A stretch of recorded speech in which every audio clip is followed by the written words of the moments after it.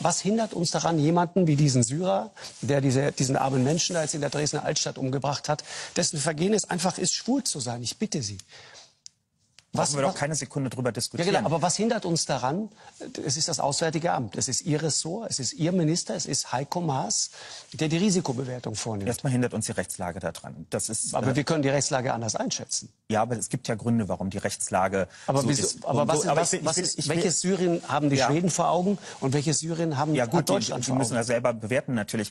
Ich, ich will hinterfragen, welches Ziel verfolgen wir, wenn wir Leute dort aus dem Verkehr ziehen? Und zwar egal, ob wir sie in den Knast packen oder ob wir sie nach Syrien dann am Ende zurückführen. Äh, in das dem Fall, Entschuldigung, in dem Fall, der, der ist schwer kriminell, kommt aus dem Knast. Ja. Und wenn der abgeschoben wird, noch am selben Tag nach Syrien, lebt dieser arme Mann in der Dresdner Altstadt weiter. Das ist der Punkt. Ja. Ganz einfach. Wenn wir uns jetzt einmal von diesem konkreten Fall entfernen sollen, wenn wir uns jetzt einmal von diesem konkreten Fall entfernen sollen, die grundsätzliche Frage beantworten. Welches Ziel verfolgen wir?